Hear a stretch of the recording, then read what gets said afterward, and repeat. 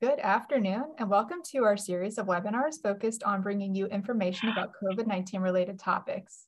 The information in these weekly webinars is geared toward long-term care and skilled nursing facilities, but we encourage everyone who is interested to attend.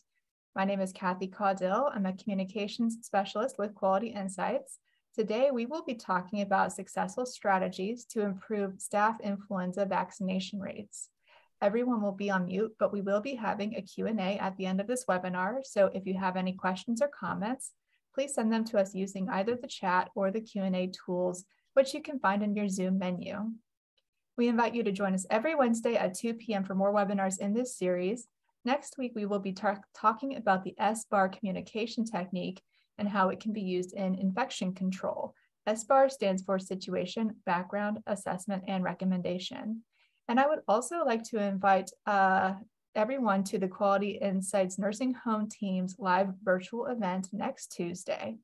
That event is for long-term care workers in West Virginia and Pennsylvania. Our nursing home team will be there to talk about our program's new healthcare initiatives. You'll also get some FaceTime with your region's quality improvement specialist. We're really excited for this kickoff event, which is on Tuesday, September 20th at 1 p.m. We really hope that you can join us. And I will drop a link in the chat shortly where you can register if you're interested. And with all that said, I would now like to introduce our guest today, Audrey Fernald. Audrey has been an infection and control preventionist at Fellowship Community in Whitehall, Pennsylvania for 10 years, and she is currently their Director of Infection Prevention and Occupational Medicine. Audrey will be presenting today on how Fellowship Community increased their staff influenza vaccination rates. She made this presentation for the Jewish Healthcare Foundation along with Deborah Wright, one of our quality improvement specialists here at Quality Insights. We're excited to have Audrey here to give us an advanced preview of that presentation. But first, Deborah Wright has a few words to say. So Deborah? Sure. Thanks, Kathy. So we are very excited to have partnered with Audrey and the fellowship community with this. Uh, many years uh, ago, she'll explain they um, took the stance that they were mandating their influenza vaccination rates for their staff as um, a requirement for employment.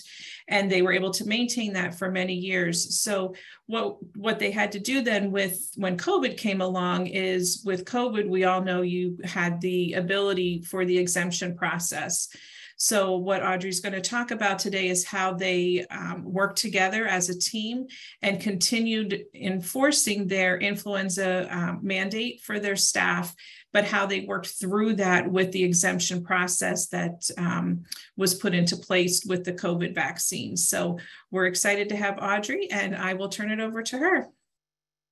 Thank you, Deborah. Well, Fellowship Community is uh, continuing care retirement community. Uh, we have 121 skilled beds, 163 personal care beds, and we also have 151 independent units on our campus, and that includes townhouses and apartments.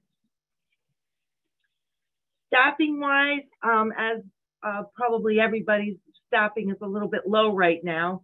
Uh, we have only 330 employees. We used to run around 360, but um,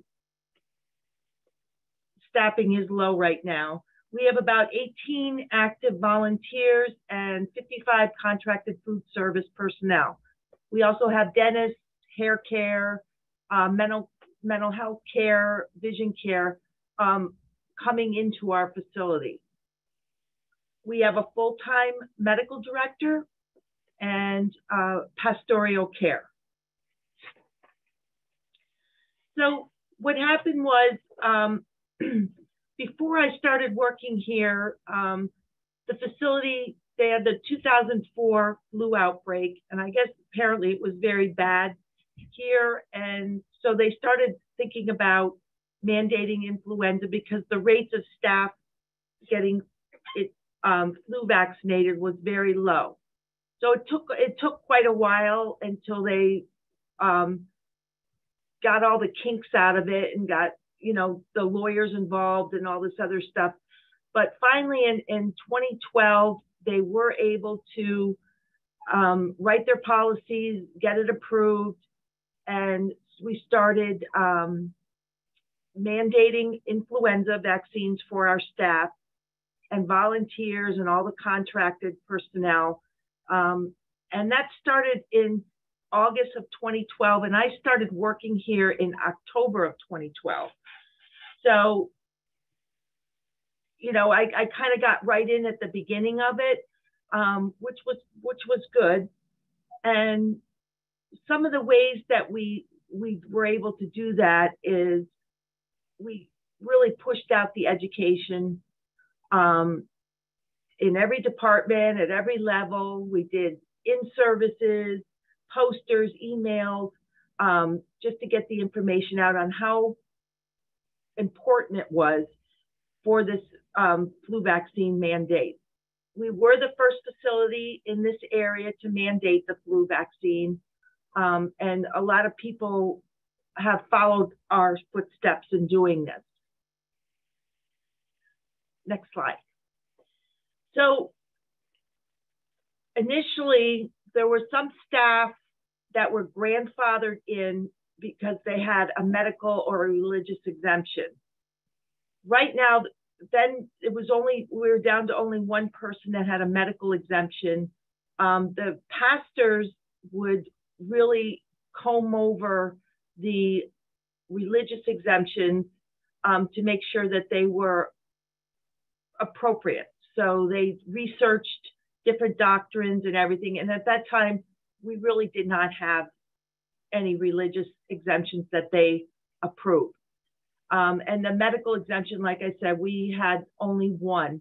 What made people really want to get it then is they did not want to wear masks from November 1st to March 31st because masks were not like now where everybody wears a mask. They just didn't want to do it. So I think that was one of the things that made people go ahead and get the vaccine.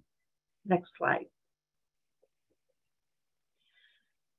So in 2015, we made the flu vaccine a condition of hire, where um, if you were not willing to get the flu vaccine, um, you would not become part of the fellowship team and we would we would not hire you. They were told about the vaccine during the interview process.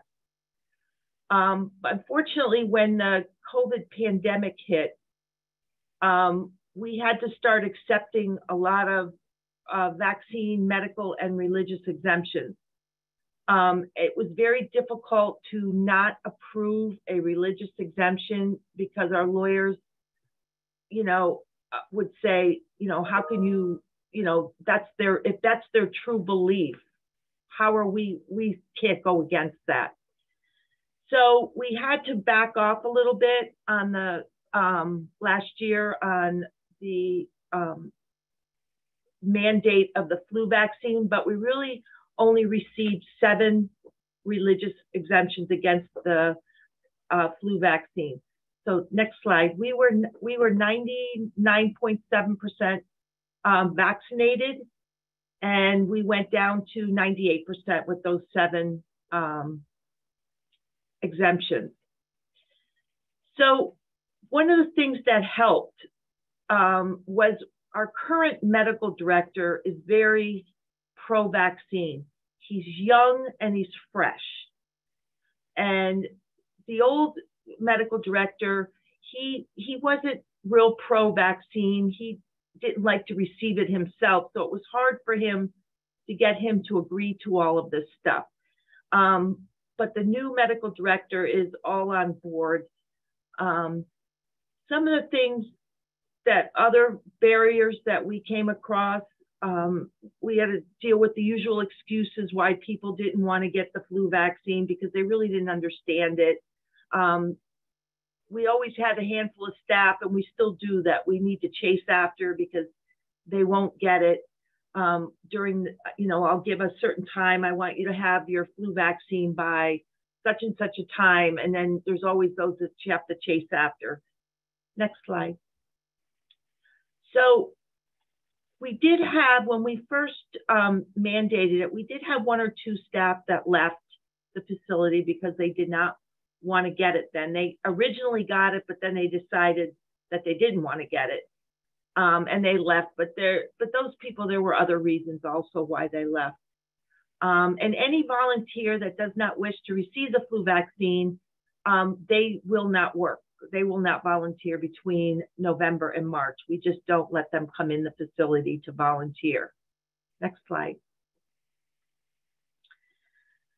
So what some of the other things that made it beneficial, our president and CEO um, were very progressive and had a, they both, they had a solid background in healthcare, which I think helped. Their, our CEO and our COO are nurses.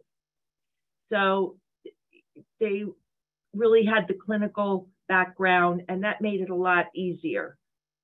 Um, we've had a full-time infection preventionist since 2004, which a lot of facilities didn't have, but they did have that here. And we offer no exception exception rules right from the beginning, which you know we're not going to accept one, give an exempt exemption for one and not the other. We kind of kept it very across the board even. Um, we developed a friendly vaccine culture, meaning we offered clinics at convenient times for the staff. We gave out candy, stickers. Um, I was very patient with people that were had fears of injection. I would take them off by themselves instead of in a line where people were coming in to get get their vaccine. I didn't care if people had their favorite nurse on the floor that they wanted to give it to to them. I did, that was fine with me. If they wanted to get it at their doctor's office, that was fine. Um, wherever they wanted to get it, just bring documentation in um, that you did receive it. Next slide. Um, the, all the nurses had access to the vaccine, so this helped with the off shift uh, staff to get it. Um, that made it very convenient for them. They didn't have to come in, you know, when their time on their time off. Um, we listened and cleared up any misconceptions people had. It was no cost. Fellowship assumed all the costs of the vaccine. Um, we make made help make the staff understand we were developing a culture of wellness for themselves and our residents. And I already said the last, sorry. Next slide. So the success rates, um, I already told you we were running about 99.7 compliance from the staff over eight years. Um, and the 2021-22 flu season, we had the seven flu exemptions, uh, which we honored. And I don't know about this year. Um, we'll probably be giving our flu vaccines second week in October. So uh, it'll be interesting to see if we receive any more um, medical exemptions or uh, religious exemptions. We have had a, a, large turnover of staff, so I'm, I'm, it'll be interesting to see uh, what happens with that. Next slide. So our other successes, we had a decreased influenza outbreaks, and that was a great motivator for staff. Uh, we had healthier residents. We had no deaths related to influenza.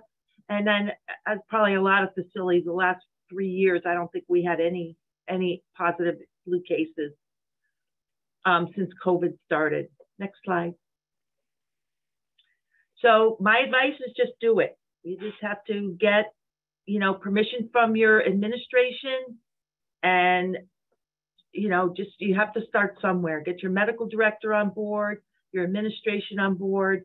You know, if they have to talk to the legal uh, department that you know you need to do that to make sure you're doing everything um, that's allowed and that's about it you know we we were very successful and like i said it'll be interesting um, with the covid you know our covid booster rates are very low. Um, i wish more employees would get um, boosted more but now that the changes in um, the, the up to date, it's the percentage isn't as high as I would like it, but we can just keep um, advertising and you know encouraging staff I give flu back. I give COVID vaccines every Wednesday. We we're not allowed to keep them here. We have to contract out with another pharmacy to get them. But every Wednesday, um, everybody knows they can sign up on Tuesday, and I'll get them a dose and give them that. Um, I know on uh, September 30th we're having a large vaccine clinic to start giving the bivalent vaccine. Um, I only have maybe five employees that have signed up for that, but I have a lot of residents. So I think most the most of the the clinic will be um, getting the residents up to date uh, with that. So you know, just it's a constant keeping up with it. Just keep encouraging it, and you know, um, putting out the education. We have um, boards out all over the place that advertise. So it is a little labor intensive, but um, that's all we can do. Thank you. All right, thank you. So in a minute, we'll have our Q&A discussion. So if you have questions for Audrey or Deborah Wright, who is also here, please drop those questions using the chat or the Q&A tool. And while we're waiting, I'd again like to remind everyone that next week we will be discussing the SBAR communication technique and how it can be used in infection control. So that webinar will be Wednesday at 2. We also host office hours live chats every Tuesday at 8 a.m. and every Thursday at 2 p.m. The office hours are kind of like a message board, but they're live. You could drop in your questions and one of our quality improvement specialists will be there to answer your questions. It's just another way you can get in touch with us. You can find those links to those live chats and our webinars and more in the newsletter that we send out each Friday called the Last Minute Lowdown. If you would like to receive that newsletter but don't think you're on a mailing list, you can email me at ccaudill at qualityinsights.org and I will get you on that list. In a moment, I will drop my email in the chat along with Deborah's in case you'd like to get in contact with them. Let's see. I think I see a question. Okay, Audrey, uh, this uh, commenter says this is great info. Do you think that your staff might be more receptive to the bivalent vaccine when they receive their flu vaccine? Yes, I know. Um, that's another thing because I know it's safe to give the both both of them at the same time. And I've been thinking about maybe offering it at the same time. Um, if we get our our shipment of the flu vaccines in, it some people might want to want to do that. They might want to get them at the same time and get it over with. So that that is something that I've been thinking about. Okay, take another minute. That's the only question we we have received so far.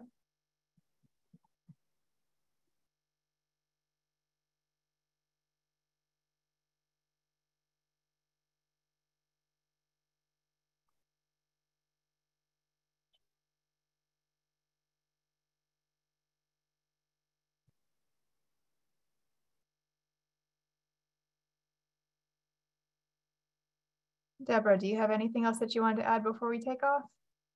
No, I want to thank you, Audrey, for for your insight on how you worked through that process many years ago before you know the mandate and COVID, and and how you worked with your team to adjust uh, with the exemption process that was put into place for the COVID vaccines. Um, speaking of the bivalent, we do know that that, you know, is out there and pharmacies are starting to get it. We have received lots of questions um, this week in regards to your NHSN reporting and the bivalent and being up to date. And um, I just remind you that NHSN does not change their reporting criteria every time a change occurs with um, the vaccine. So they change their reporting on a quarterly basis. We are upcoming to that quarterly time. So um, I'm sure that there are lots of um, trainings coming out over the next couple of weeks from NHSN. So keep your eye out on that because the uh, reporting requirement will change on November, November, on September 26th. So it, that that'll be here before we know it. So I'm sure we will we will have information on that as it gets closer to that time. And um, NHSN also is posting lots of trainings coming up over the next couple weeks. So if you have any questions, you can certainly reach out to me um, and we can help you work through that in the meantime. So Kathy, I think that's if we don't have any other questions. We have not, so I'll wrap up real quick, and then if there's any last minute, last second questions, we can we can do those before we take off. Okay, so again, I'd like to thank Audrey and Deb for today's presentation. If you would like to see the slides for today's webinar or recording, sorry, if you would like a copy of today's slides or you would like to rewatch a recording, you can contact me at ccaudill at qualityinsights.org and I can send those to you. I will also be posting those on our website later this week at qualityinsights.org slash QIN slash multimedia, and they will be in the last minute lowdown as well. If you'd like to contact Deborah Wright, you can reach her at dwright at qualityinsights.org. That's D W R I G H T at qualityinsights.org. I put both of our emails in the chat if you would like to quickly copy and paste those if you need them. And I would like to thank all of you for joining us. It doesn't look like we have any last second questions coming in, so I think we can sign off. Thank you, Audrey, and thank you, Deborah. Uh, I hope you both have a great day, and I hope that I can see everyone here back again next week. Thank you. Bye.